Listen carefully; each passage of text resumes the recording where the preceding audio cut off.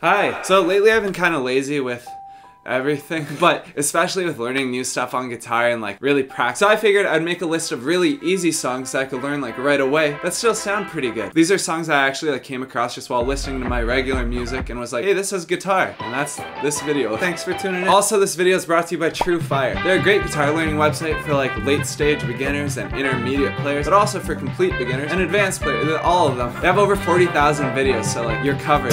So yeah, these aren't in any particular order, just kind of like as I wrote them down. But the first one's probably one of the more challenging ones because it's just an instrumental song. Intro by the XX.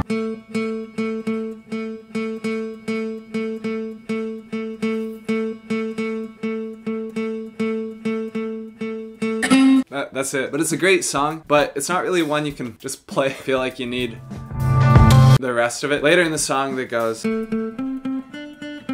I think if you're like starting out on guitar and you want to like do some easy pinky work, that's the one. So next up is I Think I'm Okay by Machine Gun Kelly.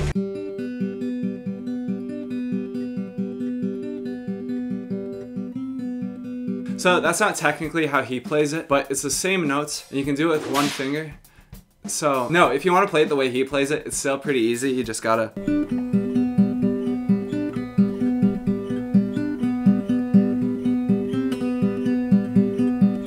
Same thing. That one's actually maybe easier. So maybe do it that way. Spotlight by Marshmello featuring Lil Peep.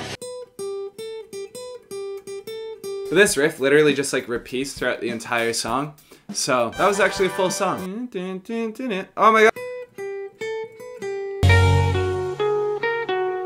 Marshmello. So two for one on that one. Circles by Post Malone.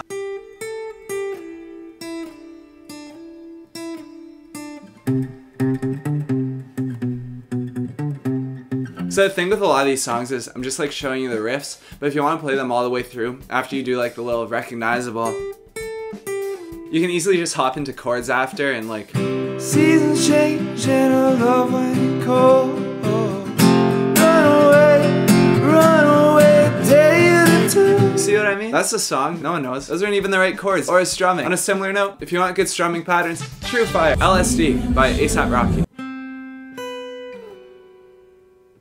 What I realized from making this video is that if you want to make your own music, you don't really need super complicated riffs to make like really good riffs. But if you want like more in-depth tutorials to like learn stuff, TrueFire. TrueFire is like an amazing guitar learning service. While I do think that learning guitar with YouTube videos is like a totally fine way to learn, but like if you're in my position, sometimes you don't really know what you don't know, but TrueFire knows what you don't know with 40,000 videos. So it can like really guide you on the path to like becoming a better guitarist. Check out TrueFire, use my link. Thank you, TrueFire. And yeah, that's the whole video. If you have like any songs that you know are great great guitar songs that I could learn in under 10 minutes? What are they? I'd like to know. Or just how's your summer going? What have you been up to? Let me know. Thanks for watching the video. Thanks for making it to the end. Thank you TrueFire and thank you to my patrons. Bye.